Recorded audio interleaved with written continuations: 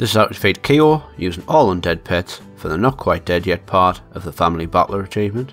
Your first pet is a soul broken whelpling with Shadow Talon, Amplify Magic and Soul Ward. Your second pet is Mr Bigglesworth with Pounce, and then just as backup, Scraps or a similar pet with Claw, Zooter Bark and Consume Corpse. This one is unlikely to be used, so really can be anything. Start with Soul Ward, followed by Amplify Magic, and now use Shadow Talon until Buzzbeak is defeated. We'll take two or three.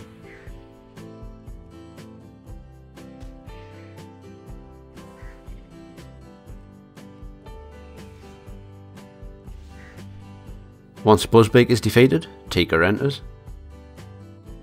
Cast Shadow Talon.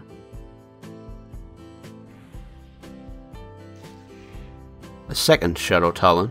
Tika will then use Dust Cloud and be unattackable, so cast Soul Ward.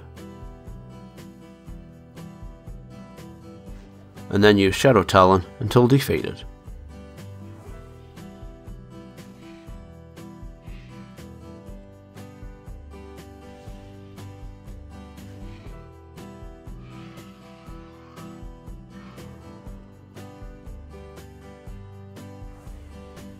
Tika should be pretty low on health when your Whelpling is defeated. Once defeated, bring in Mr. Bigglesworth. Cast Pounce until Tika is defeated. Once Tika is defeated, Milo enters. Just spam Pounce until the fight is done. Hope you found this video helpful, and thanks for watching.